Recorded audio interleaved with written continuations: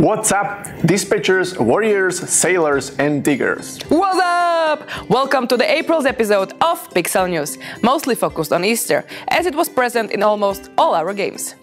We hope that you found all the Easter eggs and enjoyed April with Pixel Games. And let's take a look at what was it all about.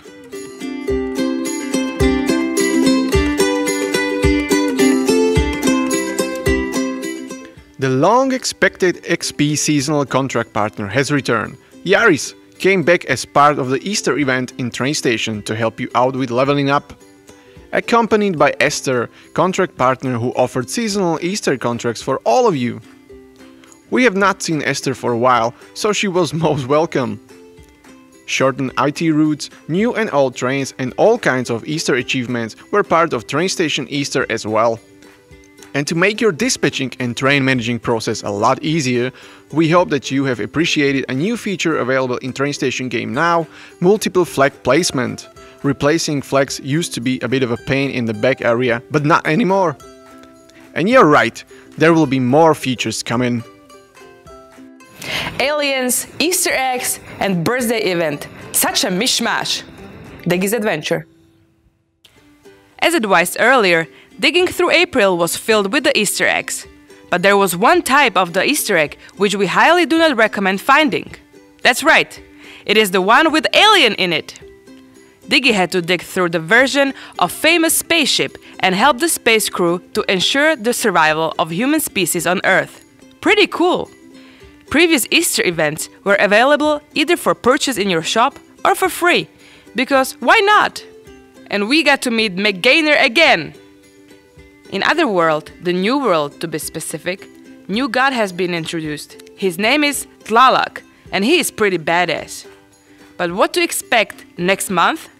Diggy will celebrate another birthday, so who knows what gifts and challenges he has prepared for you.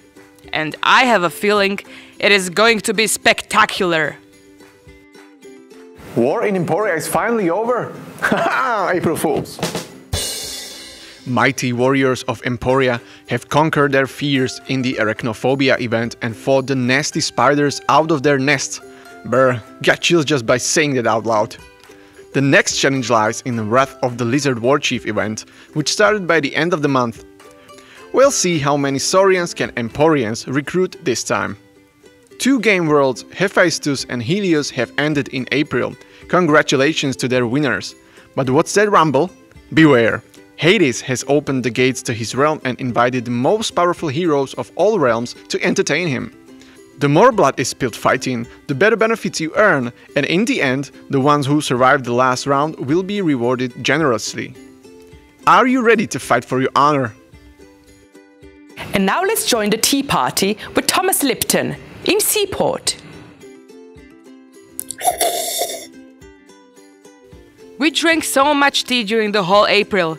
I see chamomile everywhere. That is my favorite one. I'm sorry. We were traveling back in time to Ceylon with Thomas Lipton and James Taylor, where the whole story of Lipton's tea begins. You can actually read more about the history of this story in our blog. But let's get to the more interesting part of this news. In May, we will start a new adventure, an event full of mysteries. Prepare your sails for the strong winds of the North Atlantic Ocean. We need to inspect the case of a lost ship, Carroll A. Deering. Lawrence Ritchie is our main investigator and he will need our help. Bermuda Triangle can be super dangerous and we ain't kidding. Also, get ready for a new feature of looking for the ship parts. New things on the horizon! Summer is gonna be very hot. We hope that you did not become a victim of a cruel April Fool's prank. But in case you did, let us know what it was. And what are the Easter traditions in your country? Do you eat potato salad with a ham? Anyway, we are looking forward to new episode already. It's gonna be a lot of fun. And do not forget to follow us on our social media channels. Links can be found in the description below. And we'll see you guys next month. Ciao. Ciao.